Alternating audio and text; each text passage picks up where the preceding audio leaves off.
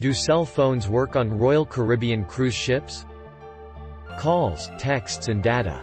Once you are on board a Royal Caribbean ship and the ship begins to sail, Royal Caribbean operates a WMS mobile network, known as Cellular at Sea, that will work with any phone that allows roaming.